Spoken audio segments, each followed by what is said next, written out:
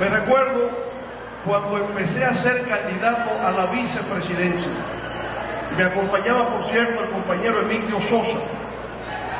Y recuerdo que en uno de esos primeros discursos que daba, subido en la parte, en la cama de un camión, no tenía micrófono como hoy día, porque hemos progresado. Ahora hablo con micrófono, en aquellos tiempos no. Y entonces estaba hablando y había un señor avanzado en edad, pero que tenía una voz muy potente. Y cada vez que yo decía algo que él entusiasmaba, él decía, tan cogido carajo. Y entonces yo volvía y hablaba y hablaba, y luego me decía, es que están cogidos carajo.